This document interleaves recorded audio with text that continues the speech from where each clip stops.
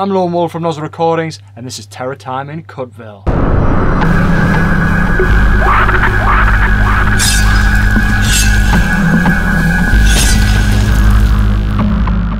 So at the moment I've just been doing, I've just started on doing the introduction for this actual series, um, which I've just put the, the visuals together yesterday and I've come out with something which could work so I'm going to give it a shot and I'm doing the music for it. I've started the music for it just now of which I'm going to layer lots of individual layers of what I think would sound good with it um, together. And then once I've got a sort of rough idea of the different layers involved I don't know how many there could be seven eight layers. There might be nine or ten there might be we'll see how it goes.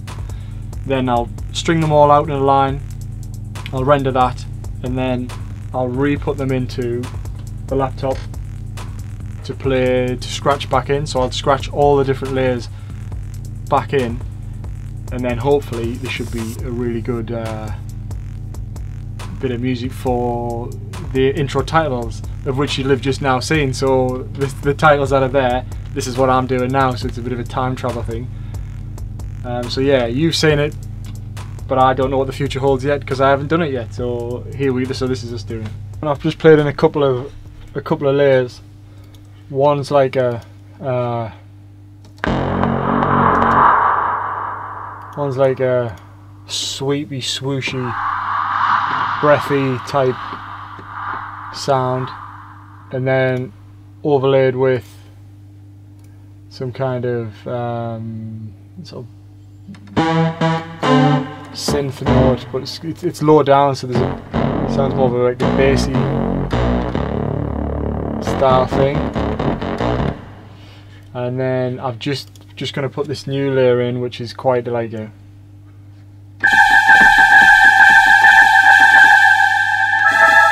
like a that that horror that horror type sound, you know.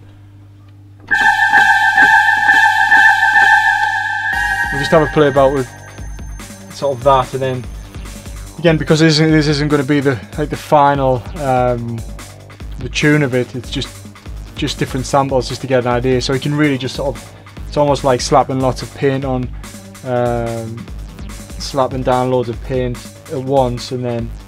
Um, seeing what you come up with later sort of thing like jigsaw pieces being placed down and then you know you just sort them out later so this is what sort of this is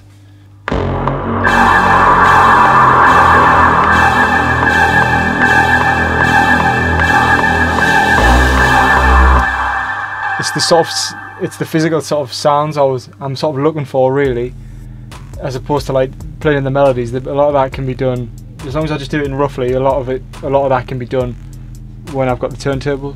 Um, but the the actual sound quality of what it physically sounds like, so like that that classic retro uh, sounds um, really quantized. I don't want it too quantized because it's good when you just have it. Um, slightly loose so it's not as mechanical sound, there's a bit more of a live feel to it. It's always good.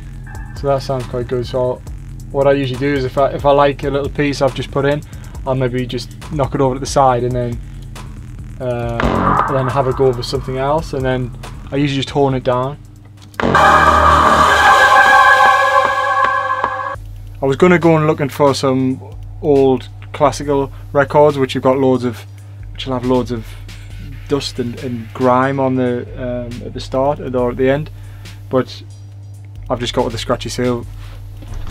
Super seal it works.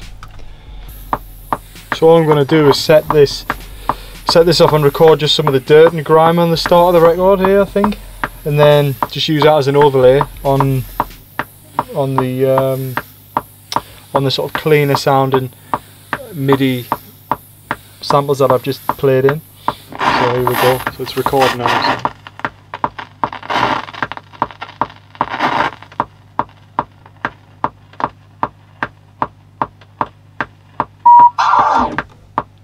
Watch a bit. So I'm just about to do the the blood splat for it, or when the when the sword hits the um, hits the titles. So I've got some different sound effects I'm going to make. um, the blood splatting sound. I've already got the, the shing of the of the sword which I've recorded before anyway but I'm just going to do some fresh sort of blood and uh, hits.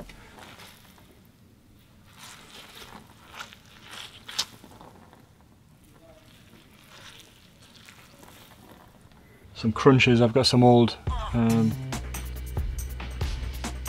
monkey nuts which I've just been eating this week actually. So I'll just use some of them and then yeah I'll record them in and then that's them laid up.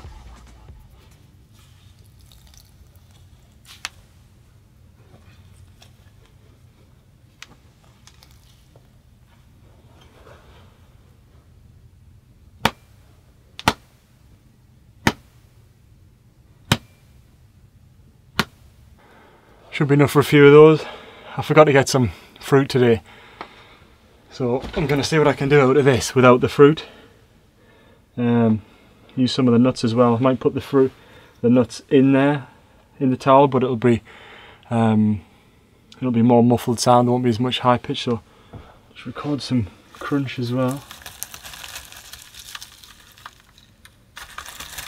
I'll hoover all this up later.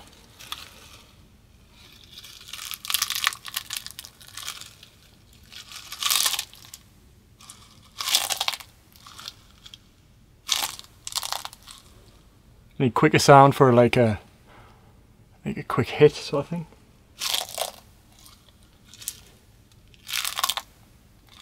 I'll see how we get on with that. I've been recording in the different layers for this. Uh, the stabbing sounds.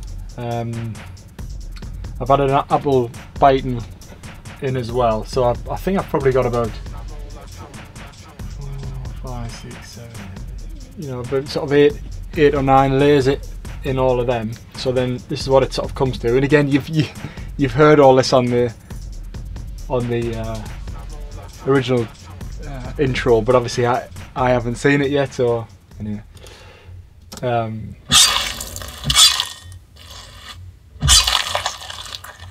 so that's three sections, the three slices, and then the last part there's a bit more crunch where it's sort of been cut straight through the uh, through the words. It was like you know, like more limbs coming off or body chopped in half or something.